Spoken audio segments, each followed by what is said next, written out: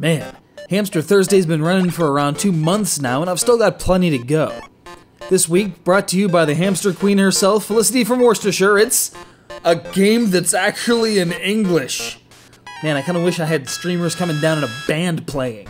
It's Thursday and I'm not beating my head against an import game. Sure, it's sometimes useful to lend a bit of challenge to what would otherwise be just a saccharine romp through a small rodent paradise, but this time, yeah, I'm kinda missing that challenge. Hamtaro Ham Hams Unite features the most famous hamster in the world trying to track down a dozen other hamsters because the boss said so. That's a dozen specific hamsters, mind, as there are hamsters all over this thing.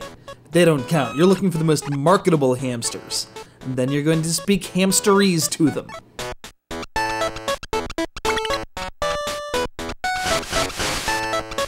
I'm sorry, the correct term is ham chat. What was I thinking? Your game consists mostly of learning new terms in ham chat by interacting with the various hamsters you come across in your search, using those terms to interact with other hamsters, and spending sunflower seeds as a form of currency because what else makes sense to a hamster? It's mostly adventuring, poking through every nook and cranny, and developing your vocabulary of sticky sweet terms that may or may not bite on Star Wars in places.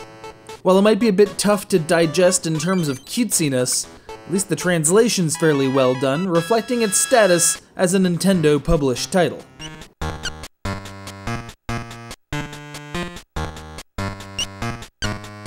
I will suggest, should you be interested in trekking through this ham Xanadu, a term that's kind of making me hungry upon further reflection, that you pick up some sort of strategy guide. Sure, you can try to brute force your way through, enacting every action upon every available hamster, but as the Ham Chat dictionary expands, the complexity gets greater and greater. And this being a Game Boy Color title, there's a line where the correct interaction gets kinda arbitrary. Still, it's a cute little idea, and I'm certain that if you were the parent of a kid playing this game, you'd immediately begin to think that they started drinking whatever you keep beneath the sink.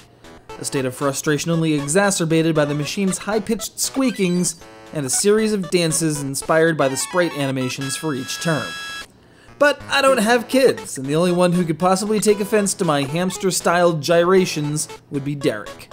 And you can just deal with it.